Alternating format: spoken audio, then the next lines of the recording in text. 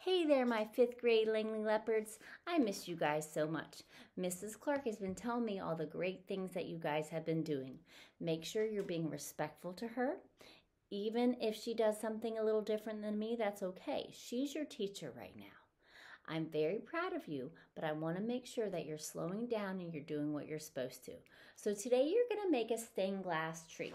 We're working on space and we're working on following simple directions. So the way you're going to do this, a stained glass is kind of when you put glass together um, and it looks like it's broken up into little pieces. So I'm going to first draw my tree trunk and I'm going to do it kind of wavy. You can do your straight.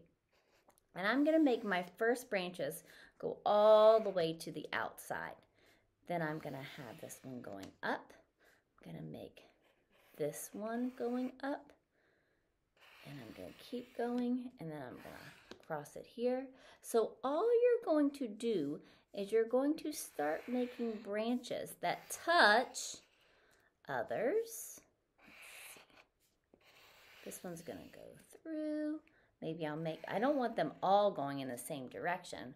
Now, don't go crazy and make a hundred branches in there. Just make a few. So I did one, two, three, four, five, six, seven, eight, nine, ten. About 10 to maybe 13, 14, 15. All right, so after you have that, you also want to break down your space in here. So now you can see all my space is broken up. You guys are going to trace with the black Sharpie marker. I'm going to be tracing with a black crayon because I forgot my Sharpie marker in the other room. So you're going to take your black and you're just going to trace it nice and neat over all your lines. And I'm going to tell you to go back and make your lines that you trace a little bit thicker. And remember that word thick is just wider so you can really see it to make it look like stained glass, like it's glass that's put together. All right, so you're to trace all of your lines.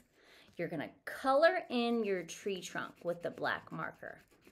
That's the only thing you're to color in. You're to trace everything black and you're to color it in with Sharpie. Next week, you're to color it real dark with crayon. So, make sure you guys are following directions. I really want you to focus on that this week.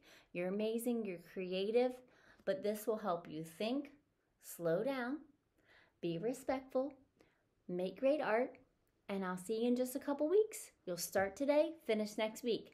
Everybody say, Yay, art! Yay!